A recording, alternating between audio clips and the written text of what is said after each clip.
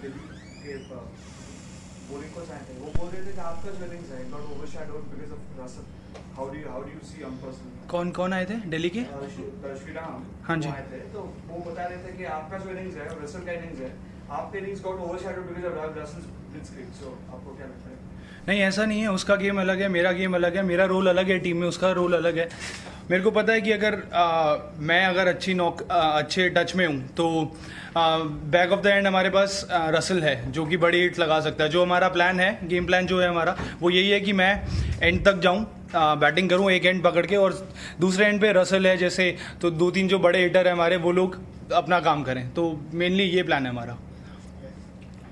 ने दोनों मैच जीता है दोनों मैच में आपका खास कंट्रीब्यूशन रहा। तो आपको क्या बोलना है नहीं कंट्रीब्यूशन तो पूरी टीम का है। आप जैसे देखे कुलदीप की दो विकटें बहुत इंपॉर्टेंट थी ऋषभ पंत और मैक्सवेल। उस टाइम पे वो विकटें बहुत इंपॉर्टेंट थी। आ, मेरे ख्याल से मेरा आ, इतना बड़ा रोल नहीं रहा। ठीक है मैंने जो मेरा डिपार्टमेंट था मैंने उस डिपार्टमेंट में अच्छा किया। हर किसी को एक डिपार्टमेंट मिला हुआ है रोल मिला हुआ है। तो हर पूरी टीम एक अपने अपने रोल में अच्छा कर रही है इसलिए हम दोनों मैच जीते। रासिल आने के आगे विकेट लूज कर रहा था। तो आपका माइंडसेट क्या था उस समय? गेम प्लान यही था कि हम लास्ट तक जाए। मैं, मैं मेरे मेरे को अच्छी बॉल दिख रही थी। फ़र्स्ट मैच में भी मैं अच्छी बैटिंग कर रहा था। सेकंड थर्ड मैच में भी अच्छी बैटिंग कर रहा था। अनलकी मैं दोनों मैच में आउट हुआ। लेकिन मेरे को था कि मैं अच्छे टच में हूँ तो मेरे को फिनिश करना चाहिए। एक एंड पकड़ के मुझे बैटिंग करनी चाहिए।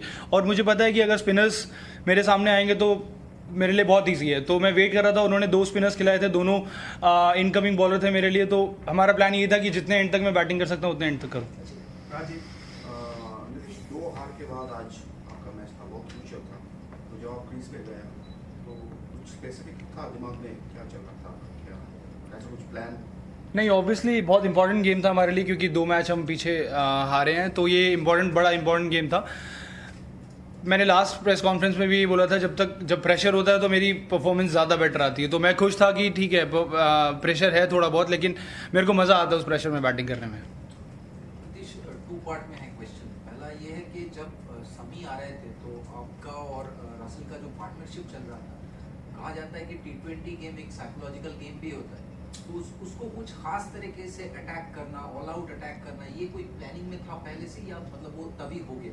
नहीं ऐसा प्लानिंग में नहीं था. मैं मेरा अगर रसल और मैं बैटिंग कर रहे हैं तो ऑब्वियसली मैं अगर मेरे को मेरे स्ट्रेंथ पे बॉल मिलता है तो मैं ज़रूर हिट करूँगा. अगर मेरे स्ट्रेंथ पे बॉल नहीं है तो उस टाइम पे उस स्टेज पे मुझसे ज़्यादा बेटर हिटिंग वो कर सकता है। तो हमारा गेम प्लान यही था कि अगर मेरे को मेरे पाले में बॉल नहीं मिल रहा तो मैं एक रन देता हूँ रसल को स्ट्राइक पे देता हूँ। तो मैंने वही किया। जो मेरे को मिला मेरे एरिया में बॉल वो मैंने हिट किया। अदरवाइज़ जो अच्छा बॉल था वो मैंने एक रन दिया और रसल ने। नहीं ऐसा नहीं है। उस टाइम शमी बॉल डाल रहा था तो शमी ही तो उस पर बैटिंग कर रहे हैं तो हम उसी को हिट करेंगे ना। उसके बाद मॉरिस को भी हमने हिट किया है। ऐसा नहीं है कि हमने सिर्फ़ शमी को हिट किया है। नदीम ने भी क्या कहते हैं, चार में फोर्टी समथिंग कुछ रन दिए। तो ऐसा कोई पर्टिकुलर एक बॉलर नहीं था कि हम उस पर थ्रू आउट जाएँगे।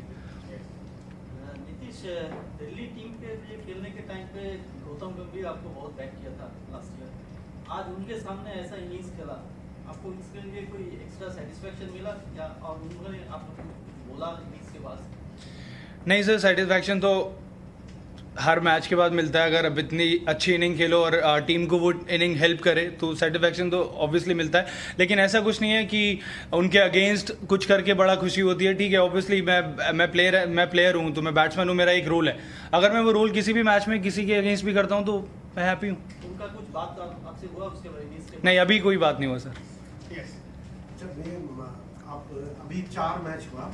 उस दिन भी 200 रन हुआ था चेन्नई। अभी क्या लग रहा है टीम का कॉम्पोजिशन में? एक सेटल्ड लुक आ रहा है फाइनली नहीं सेटल्ड लुक तो ऑब्वियसली पिछले गेम में भी आ रहा था। वो एक फ़र्स्ट गेम से जैसे भी आप देखो फ़र्स्ट गेम में हम बहुत अच्छी क्रिकेट खेले हैं। थ्रू आउट बैटिंग भी हमने अच्छी की है और बॉलिंग भी चेज भी हमने अच्छा किया है। तो ओवरऑल टीम का मोराल बहुत ऊपर है। बस वो थोड़ा बहुत एक दो चेंजेस जो हम ढूंढ रहे थे जो हम कोशिश कर रहे थे वो फाइनली हमें मिले हैं। तो बेटर अब टीम बेटर करेगी ऑब्वियसली नीतीश नीतीश आप आप लोग कल जा रहे हो जयपुर और उसके बाद राजस्थान रॉयल्स के खिलाफ मैच है। वहाँ पे भी the same I mean the team is also playing a similar kind of cricket that you guys are doing full of youngsters and then तो क्या टारगेट क्या रहेगा राजस्थान रॉयल्स के? टारगेट अभी तो कुछ बात नहीं हुई टीम मीटिंग में बाकी बात होगी तो ज़रूर बताऊँगा। नीतीश बैटिंग में तो आपका टच बहुत अच्छा चल रहा है खासकर जितने भी टीमें बहुत अच्छे किए। आप कप्तान को बीच बीच में ये भी याद दिला रहे हैं कि बॉलिंग का भी थोड़ा पहले मैच में वो क्रूशियल दो विकेट के बाद नहीं डिपेंड करता है अगर ज़रूरत पड़ेगी तो ज़रूर बॉल डालूँगा। कप्तान को याद दिलाने की ज़रूरत नहीं है वो इतने एक्सपीरियंस प्लेयर हैं। और अब मैंने सोचा भी नहीं था फ़र्स्ट मैच में मैं बॉल डालने वाला हूँ लेकिन वो एक टाइम ऐसा था उस पर मेरी ज़रूरत थी। लकीली मैंने करके दी अब ज़रूरत पड़ेगी तो ज़रूर करके दूँगा। थैंक यू थैंक यू नहीं, नहीं।